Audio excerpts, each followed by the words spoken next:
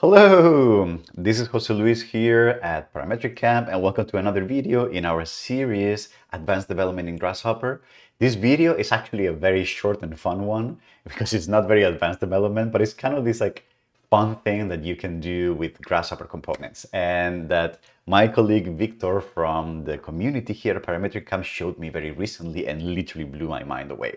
So turns out that let's say you're doing C sharp component development, right? There's two things you can do. You can leave the component with the icon like this, or you can right click and say, awesome algorithm, right? And so you're renaming the component and then you can say, wait, but I actually want the name. So you can use the paint bucket on top of the thing, right? Or go it back to the icon. But it turns out that you can actually very, very easily customize the icon of the component.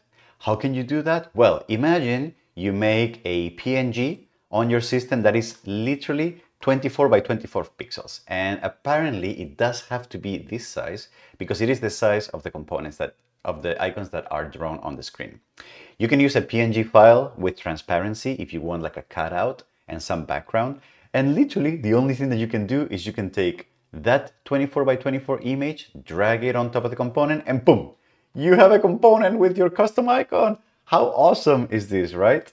And the funny thing is that you it's not this is not only for C sharp script components, but you can do it for pretty much any component that you want. So you can just drag and drop icons and they will show up on top of your components. Any random vanilla Grasshopper component can do this.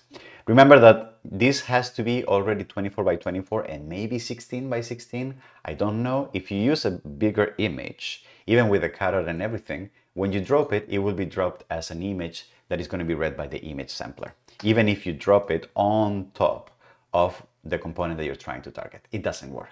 Okay?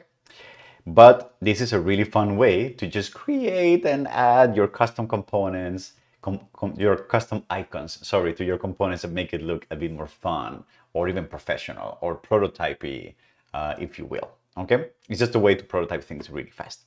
All right, that was it. Have fun with custom icons in your development process. And if you draw or if you make something cool, make sure to share it with us here in the community, on our Discord, whatever you see fit. All right. Thank you very much and see you on more videos on this playlist. Bye bye.